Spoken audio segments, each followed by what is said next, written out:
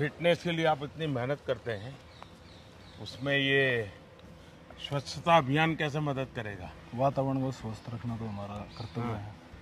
वो स्वस्थ तभी हम स्वस्थ हैं। हमारे सोनीपत में गाँवों में कैसा है लोगों का स्वच्छता का में विश्वास कैसा है?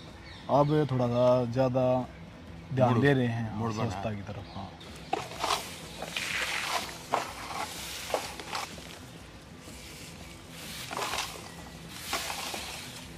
अंकित आप फ़िज़िकल एक्टिविटी के लिए कितना समय देते हैं? दिन में चार से पाँच घंटे। आपको भी देख के थोड़ा सा मोटिवेट होते हैं कि आप भी इतनी एक्सरसाइज करते हो। मैं ज़्यादा एक्सरसाइज नहीं करता लेकिन रोज़मर्रा की ज़िंदगी के लिए जितना चाहिए। लेकिन मैं डिसिप्लिन फॉलो करता हूँ। दो चीज़ों में मेरा अभी डिसिप्लिन नहीं आ रहा है।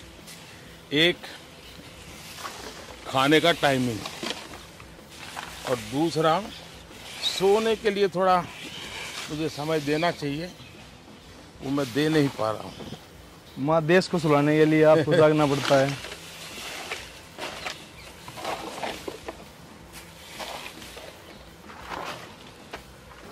आपने ये जो सोशल मीडिया का कैसे पॉजिटिव उपयोग होता है ये परफेक्ट एग्ज़ाम्पल आपने दिया है। और मैंने देखा है कि आपके कारण काफ़ी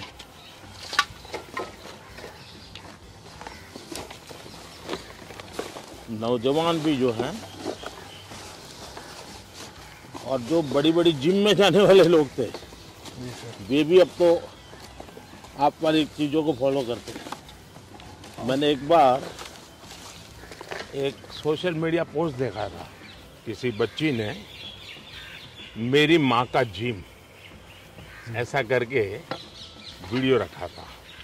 और उसमें मेरी माँ सुबह से शाम जो काम कर रही है चक्की चलाती है वो भी उसका जिम है। कपड़े धोती है वो भी उसका जिम है। इतना इफ़ेक्टिव बना है।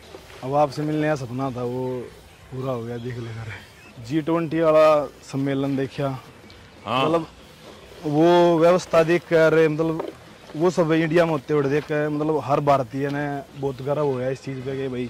आपने देखा होगा हाँ जी। जो भारत मंडपम बना है हाँ जी उसमें भी एक पूरा दीवार हाँ जी।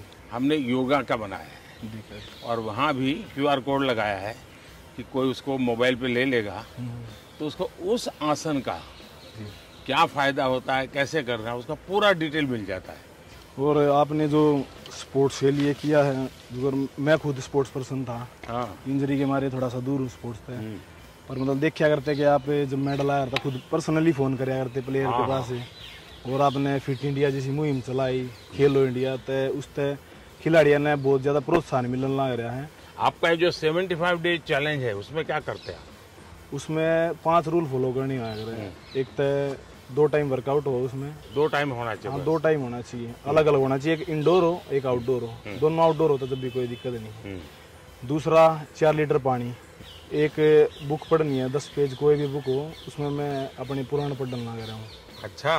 पहले श्रीमद भागवत गीता पढ़ी थी इब शिव पुराण पढ़ने लग रहा हाँ, हूँ। और चौथा रूल है उसका स्ट्रिक्ट डाइट फॉलो करनी है। हाँ, और चौथा बनी एक सेल्फी लेनी है प्रोग्रेशन प्रोग्रेस ट्रैक करनी थी हम्म। नहीं अच्छा है इसका लिए एक स्वच्छता का संदेश, क्योंकि मैंने देखा है कि धीरे धीरे देश में स्वच्छता के लिए सबकी रुचि बन रही है। परिवार में छोटे बच्चे भी अपने दादा को कहते हैं "ये गंदा मत करो। तो एक अच्छा वातावरण से भी। चलिए, अंकित, बहुत बढ़िया काम कर रहे हो आप।